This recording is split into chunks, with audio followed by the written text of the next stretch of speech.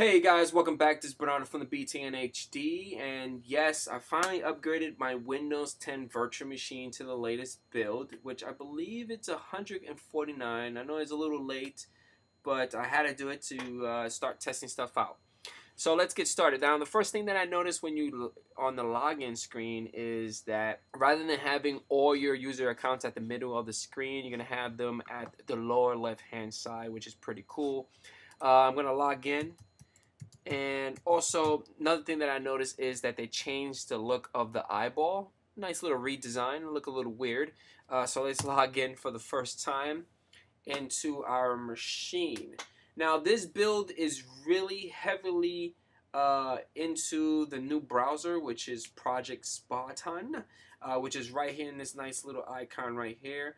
But before we start doing that, I want to do a little bit of some of the things that I noticed with the build. Uh, if you go to the start screen and you click on your name, they gave you a nice little cool way to switch users. Uh, back on the old builds, as well as Windows 8 and Windows 7, you had to actually, I think, sign off or do a switch user and then you had to go to other then type in the username and the password and then you log into your new account here it gives you a whole list of all the user accounts that has access to your machine. You click on it, you log in, and then you're in. That's pretty cool. I like that feature. Uh, they changed the look and feel of all the icons. So I'm going to go to the File Explorer. And my, my opinion is that the icons look too cartoony. I could be wrong, but I want to know what you guys think about that. Uh, but the fonts, the feel, the look of it, it looks real sharp, real clean. But to me, it just looks too cartoony. So let's close this up. And the next thing that I noticed is the task view. Now, task view has been changed a lot. And uh, let me get out of task view and I want to open up, uh, let's open up this window and let's open up Internet Explorer. The only reason why I, I want to open up Internet Explorer and the File Explorer because I want to show you guys what's new with the task view. So if I click on task view, what happens is you get this nice little Exposé kind of feature. You guys actually seen this during on the Mac side. But rather than having the new desktop or the new view on the middle, they actually put it on the corner. Now, the best thing about the task view now, if you click on new desktop, it gives you a new window, right? But if you click on to the first desktop, uh, like if I go back into this view, you're able to drag and drop that File Explorer to desktop 2, like this, desktop 2. Cool, right? Also, you're able to click on that application. So let's say I want Internet Explorer. So if I click on Internet Explorer, right, and you drag it to new desktop, it would create a new desktop for you. How awesome is that? I really like that feature. When I first clicked on Project Spartan, I got this nice little window as you can see. It crashed maybe two or three times before it actually loaded in and I started playing around with it. Uh, I did notice that the last page that I was using or checking out will, be loaded. If you click on this new button, it's going to create a new web note. So let's click on it. And what happens, you get this nice little uh, sub menu. It changes color to purple. It reminds me a little bit of OneNote. Uh, you're able to write. If you uh, click and hold it, it's going to give you multiple options to change the color and the size of the pen. Uh, this is the highlighter. Again, if you click on the highlighter, it gives you a nice little uh, triangle uh, indicating that there's more options. And the, this option right here, I think this is the eraser feature. And this right here is the text feature. And I think this is the cutting feature. And this right here allows you to save and you're able to uh, share your content on the spot uh, exits and if you click on the three little dots right here it gives you more option as a new window. You're able to zoom in share find on the page print settings and F12 to developer tools. Now uh, let's go into let's write on something. So like like hello. And there you go. See I don't see myself using this feature a lot on a desktop or laptop uh, environment uh, if you're a person that's using the keyboard and mouse, this feature does not work at all. I do see using uh, Project Spartan on a tablet or a uh, touchable uh, screen. It will work great. The only way that you can actually use this feature on a desktop or a laptop is if you purchase yourself like a Wacom tablet with the pen and you're able to use it this way. Uh, but I, I do like this feature. It's like an integrated built-in OneNote feature, right?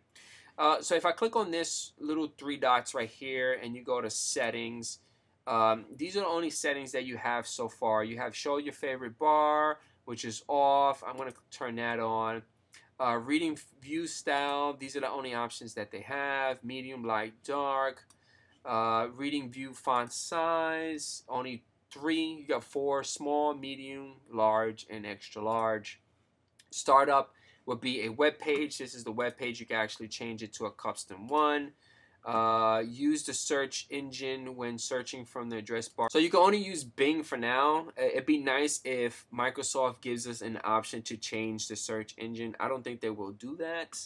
Always use caret browsing. Caret browsing uh, lets you select text using the keyboard. Uh, clear browsing data, pop-ups, cookies, send do not track requests. These are all the features that have within Project Spartan. Now, again, I, I don't think this new browser would definitely replace Internet Explorer because this browser would work well for a tablet or a touchscreen device. So let's exit out of this. Another thing that you could do is, you know, you could write some text. Can't really do too much with the text like hello, hello world. And once you create your hello world, uh, if you click on the little underscore right here, it minimizes it. You click on it, there you go. You're able to delete it. Moving around is a little difficult. You don't get too many options in moving around. That's it. You can't really move around the box. It's really hard to move the box. It'd be nice if um, it, when you put your mouse over the border of the box, it changes to a crosshair. I'll give you an option to move it, but it's it doesn't do that. If you save it, the only options that you get is either save it as a web note on Google. Uh, this is the name. Change the name. Uh, you're able to add it into your favorites, favorite bar, or phone. Uh, one of the, one of the things that I kind of noticed is that the wording, uh, the text font looks a little bit smush over here. I don't know if it's because of my virtual machine or my display, but if you guys are having the same issue, this is probably a bug and uh, those are the only options that you have on to um, uh, the saving part. Uh, the sharing part, you're able to share, and within the share, uh, see Project Spartan can't share right now. Try again later. This I'm always getting that same option. So a screenshot, share, screenshot. I could do a screenshot and I could just send it to my OneNote account. And then once you exit, it transform again into a regular browser. Uh, I did notice that the entire taskbar right here looks just one solid color, not really identifying where the address bar is located. The only way that you know that where the address bar is located if you take your mouse and you just click on the address bar or where the address is located, it will highlight it and change a different color. Uh, they did change the, the way the refresh looks. The arrow buttons look a little sharp. Uh, you got the, still the smiley feedback portion right here. Uh, the feedback portion within Spartans changed a lot. They give you more detail rather than the IE, basically a frown face or a smiley face. Uh, you have the star right here, which adds to your favorite for reading list or reading list. And then you have favorite reading list and history, which gives you a breakdown for your uh, history. Which again, the icons have changed a lot. Uh, three little arrows right here gives you more options. The same thing, same concept. Uh, sharing right here, it's the same thing. You could do a reading list, bookmark for later, or you can add it to your OneNote. And that's it, guys. So far, that's the only things that I saw on the new build, which is uh, 149. I think there's already been a leaked out for 151 or 150. Uh, so many things are happening. I know on the leak builds, they had the mail app and the calendar app uh, redesigned, and it looks and looks awesome. Uh, hopefully, Microsoft do push that out as soon as possible so I can take a look as well. If you guys have any comments or concerns, leave them at the bottom of the video. Uh, have you been testing out Build 149? What are your thoughts? What do you think about the new uh, browser? Do you think it's going to replace Internet Explorer definitely, or what? Uh, from my opinion, I don't think it's gonna. I don't think it's gonna actually eliminate IE because Project Spartan looks like it's going to be used a lot for a tablet environment. I don't think it would work well on a laptop and desktop environment. Uh, hopefully you guys enjoyed the video. Don't forget about hitting the like button and I catch you guys on the next one. Peace out.